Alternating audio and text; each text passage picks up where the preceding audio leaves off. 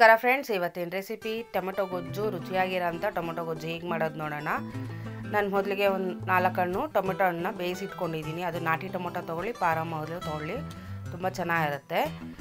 ನೀಟಾಗಿ ಒಂದು ಎರಡು ವಿಸಿಲಷ್ಟು ಬೇಯಿಸ್ಕೊಂಡು ಈ ಥರ ಸ್ಮ್ಯಾಶ್ ಮಾಡಿ ಇಟ್ಕೊಳ್ಳಿ ಹಾರದ ಮೇಲೆ ಈ ಸೈಡ್ಗೆ ಇಡಿ ಒಗ್ಗರಣೆ ಹಾಕೋದು ನೋಡೋಣ. ಸ್ಟವ್ ಹಚ್ಚಿ ಬಾಣಲಿ ಇಟ್ಟಿದ್ದೀನಿ ಬಾಣಲಿಗೆ ಸ್ವಲ್ಪ ಎಣ್ಣೆ, ಸಾಸಿವೆ ಹಾಕ್ಕೊಳ್ಳಿ ಚಿಟ್ಪಟ ಅಂದಮೇಲೆ ಒಂದು ಐದಾರು ಬೆಳ್ಳುಳ್ಳಿ ಜಜ್ಜಿ ಹಾಕ್ಕೊಳ್ಳಿ ಒಂದು ಇಡೀ ಸಾಂಬಾರು ಈರುಳ್ಳಿ, ಒಂದು ಮೀಡಿಯಮ್ ಈರುಳ್ಳಿ ತೊಗೊಂಡು ಹಾಕ್ಕೊಂಡು ಒಗ್ಗರಣೆ ಹಾಕ್ಕೊಳ್ಳಿ. ಕರ್ಬೇವಿನ ಸೊಪ್ಪು ಸ್ವಲ್ಪ ಹಾಕ್ಕೊಂಡು ಚೆನ್ನಾಗಿರುತ್ತೆ. ಸಾಂಬಾರು ಈರುಳ್ಳಿ ಹಾಕಿದ್ರೆ ರುಚಿ ಚೆನ್ನಾಗಿರುತ್ತೆ. ಹಾಗಾಗಿ ಸಾಂಬಾರು ಈರುಳ್ಳಿ ಹಾಕ್ಕೊಂಡಿದ್ದೀನಿ ಸ್ವಲ್ಪ. ಟೊಮೊಟೊಗೂ ಚೆನ್ನಾಗಿರುತ್ತೆ.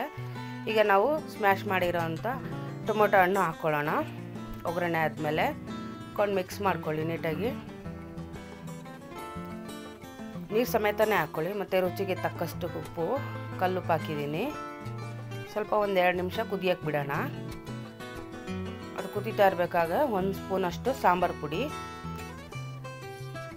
ಒಂದು ಕಾಲು ಟೀ ಚಮಚ ಅಷ್ಟು ಅಚ್ಕಾರದ ಪುಡಿ, ಖಾರಕ್ಕೆ. ನಾನು ನಾಲ್ಕು ಟೊಮೊಟೊ ಹಣ್ಣಿಗೆ ಹಾಕ್ತಾರೆ ಅಂಥದ್ದು ಇದು. ಒಂದು ಸ್ಪೂನಷ್ಟು ಸಾಂಬಾರು ಪುಡಿ, ಅರ್ಧ ಚಮಚ ಅಷ್ಟು ಖಾರದ ಪುಡಿ ಹಾಕ್ಕೊಂಡು ಮಿಕ್ಸ್ ಮಾಡಿ ಒಂದೆರಡು ಕೊತ್ತಂಬರಿ ಸೊಪ್ಪು ಹಾಕ್ಕೊಳ್ಳೋಣ ನಾಟಿ ಕೊತ್ತಂಬರಿ ಸೊಪ್ಪು ಹಾಕ್ಕೊಳ್ಳಿ ಚೆನ್ನಾಗಿರುತ್ತೆ ಟೊಮೊಟೊ ಗೊಜ್ಜಿಗೆ. ಒಂದೆರಡು ನಿಮಿಷ ಕುದಿಯೋಕೆ ಬಿಡಿ. ಕುದೀತಾ ಇದೆ ನೋಡಿ. ಇದು ಅನ್ನಕ್ಕಂತೂ, ಬಿಸಿ ಅನ್ನಕ್ಕಂತೂ ಸೂಪರಾಗಿರುತ್ತೆ ಮತ್ತು ಚಪಾತಿಗೆ ಇನ್ನೂ ಚೆನ್ನಾಗಿರುತ್ತೆ. ಮುದ್ದೆಗೂ ಚೆನ್ನಾಗಿರುತ್ತೆ. ಸಿಂಪಲಾಗಿ ಮಾಡ್ಕೊಳ್ಳೋವಂಥ ಟೊಮೊಟೊ ಗೊಜ್ಜು ತುಂಬ ರುಚಿಯಾಗಿರುತ್ತೆ. ಇದು ಹಾರದ ಮೇಲೆ ಗಟ್ಟಿ ಬರುತ್ತೆ. ನೋಡಿ, ಈ ಥರ ಆಗುತ್ತೆ. ತುಂಬ ರುಚಿಯಾಗಿರೋ ಟೊಮೊಟೊ ಗೊಜ್ಜು ರೆಡಿ ಇದೆ.